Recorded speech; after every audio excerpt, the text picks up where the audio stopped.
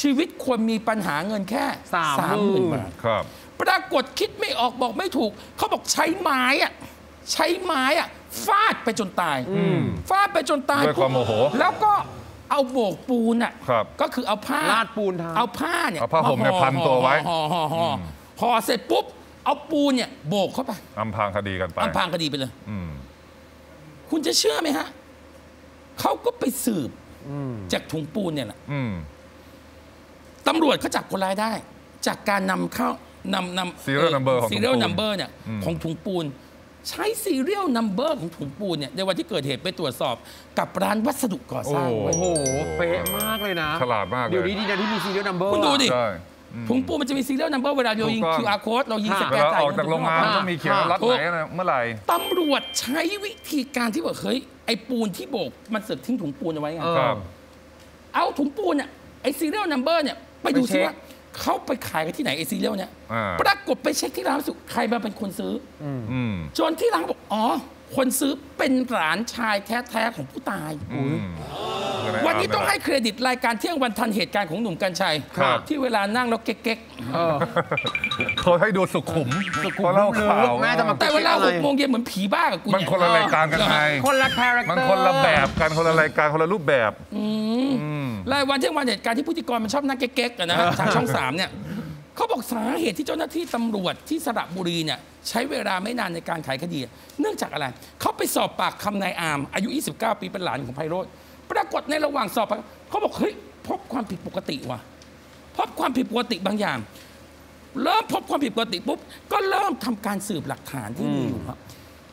ตำรวจเก่งมาก เก่งจริงเอาอันนี้เก่งซีเรียลนัมเบอร์ของถุงปูนที่เกิดเหตุไปตรวจสอบที่ร้านวัสดุก่อสร้างค่ะจนทราบว่าอาร์มเป็นผู้ซื้อปูนซีเมนต์ไป2ถุงครับเมื่อวันที่ 23 เมษายนที่ผ่านมาครับจากนั้นอาร์มก็ไม่ได้กลับมาซื้อของที่ร้านอีกเลยอืมหายไปเลย หายไปเลย ทั้งที่ก่อนหน้าเนี้ยเจ้าตัวจะแวะมาซื้อปูน ซื้อดิน ซื้อทรายจากที่ร้าน เพื่อนำไปทำงานก่อสร้างอืมเพราะเขาเพราะมีานทำองลูมิเนียมเป็นประจำทำประตูทำหน้าต่างไงหนู ก่อสร้างอืมปรากฏตำรวจเมื่อทราบข้อมูลสำคัญดังกล่าวเนี่ยก็สามารถไปไขคดีได้ อืม มันก็เลยมีความเชื่อมโยงของเหตุการณ์แล้วก็หลักฐานต่างๆ จนในที่สุดสามารถจับตัวคนร้ายไม่ให้ดิ้นไปไหนได้ ใช่หลักฐานมัดตัวขนาดนี้ดิ้นไม่หลุดนะครับอาร์มก็เลยยอมรับสารภาพนะครับว่าเป็นผู้ลงมือฆ่าเอง เนื่องจากโมโห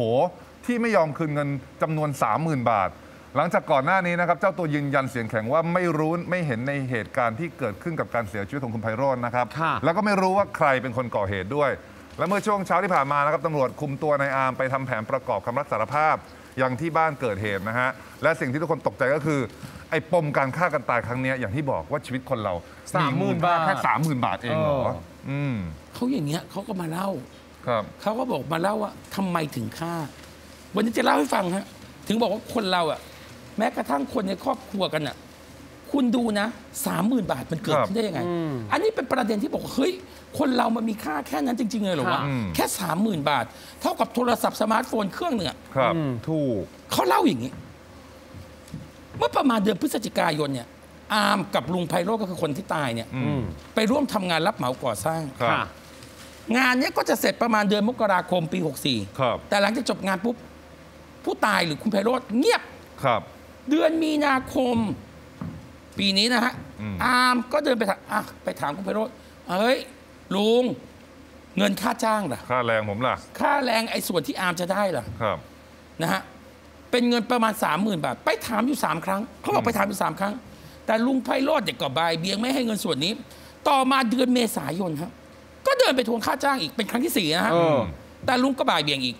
ตำรวจถามว่า อาม อามจะเอาเงินไปทำอะไรอามแต่ว่าจะเอาเงินไปแต่งเมียโอ้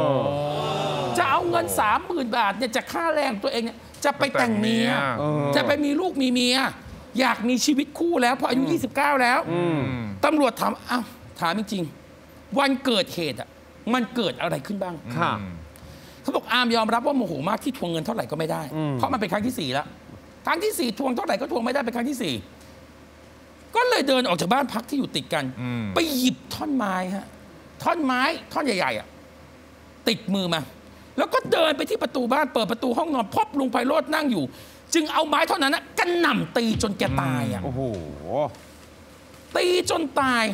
หลังจากนั้นจึงนำศพไปทิ้งไว้ที่ห้องนอน แล้วก็ขับรถไปซื้อปูนซีเมนต์อืมมาก่อ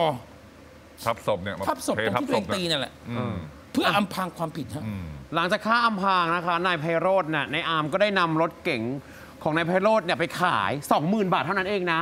อ่าแล้วก็ได้มาทองคำนะสร้อยคอทองคำหนัก 1 บาทเนี่ยนะเอาไปขายด้วยตอนนี้ก็ติดตามอยู่ แล้วก็กลับมาว่า เอ๊ะ ทองคำเนี้ยมันไปขายที่ไหนในระแวกบ้านหรือเปล่าทำไมไม่มีใครไม่มีใครรู้ไม่มีใครเห็นเลยถึงการเอาทองเนี้ไปขายครับผมคนก็อยากจะรู้ว่ามันเอาขายที่ไหน วันนี้รายการโหนกระแสของคุณหนุ่มกัญชัยเขาก็ค่ะมีการพูดกับลูกสาวกับลูกเขย ของคุณไพโรธผู้ตายอะนะ โดยลูกสาวของผู้เสียชีวิตก็บอกว่าไงรู้ไหมตนไม่ได้อยู่บ้านเดียวกับพ่อออืมจู่ๆพ่อก็หายไป ครับค่ะจึงคิดว่าไปใช้ชีวิตอยู่กับภรรยา เพราะว่ามีคนบอกว่า พ่อมีเมียใหม่ที่สปปลาวเป็นหนุ่มก็สำราญ ถูก แล้วก็หลานแท้ๆที่เป็นที่รักของพ่อก็พร่ำบอกว่าครอบครัวตลอดว่า พ่อน่ะไปใช้ชีวิตก็คือคนที่ฆ่าน่ะก็อามนั่นแหละบอกว่าพ่อบอกเป็นตลอดว่า เรา สรุปแล้วเนี่ย พ่อไปได้เมียใหม่ที่สปปลาวอืมอามได้เคยเล่าว่ามีปัญหาเรื่องการเงิน ซึ่งพ่อของตนนั้นประกอบอาชีพรับเหมาก่อสร้างอืมจึงไม่แน่ใจว่าเอ้ยมีการยืมเงินหรือเปล่า แต่ก็เชื่อได้ว่าผู้ต้องหาเนี่ยไม่ได้ก่อเหตุเพียงคนเดียวแน่นอนครับ เพราะการโบกปูนฉันว่าไม่น่าจะทำคนเดียวได้ อืมแล้วก็ที่แปลกคืออามขับรถไม่เป็นเว้ย อ้าว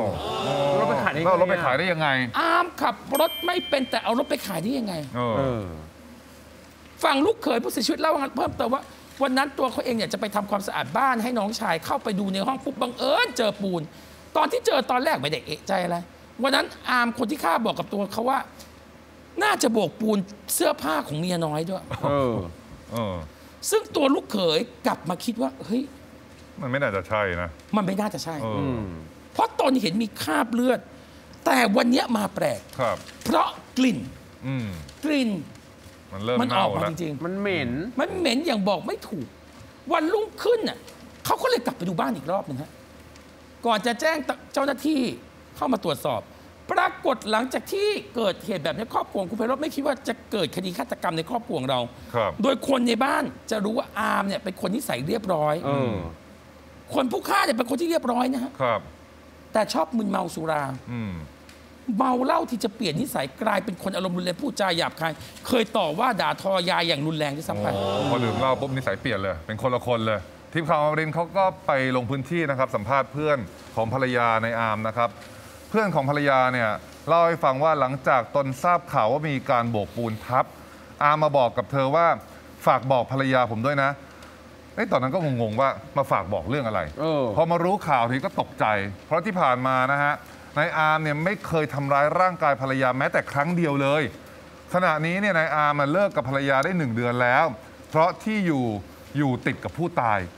เมื่อประมาณต้นเดือนพฤษภาภรรยาของนายอาร์มเนี่ยได้กลิ่นเหม็นเน่าลอยอยู่ที่บริเวณบ้านของตน ก็คาดว่าน่าจะเป็นการบอกเหตุว่ามีการตาย หรืออาจไปรู้อะไรบางอย่าง จึงเลิกอืมจึงเลิกกับนายอาร์มก่อน ด้านตำรวจบอกว่ากำลังสืบสวนต่อ เพราะว่าคิดว่าผู้ร่วมก่อเหตุเนี่ย อาจจะไม่ใช่แค่นายอาร์มคนเดียว อาจจะมีเพื่อนคอยช่วยด้วย